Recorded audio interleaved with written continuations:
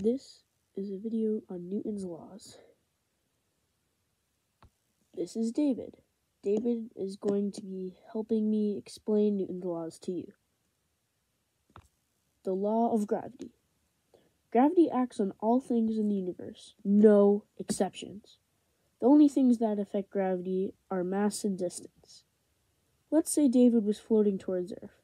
If he were farther away from Earth, he would float towards Earth slower because distance affects gravity.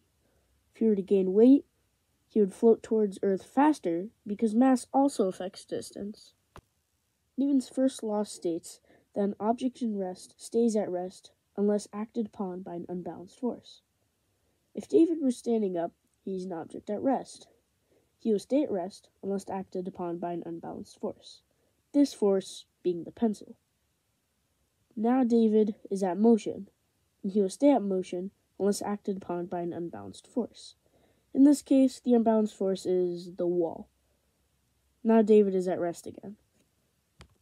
Second law. The more mass an object has, the more force is required to accelerate that object.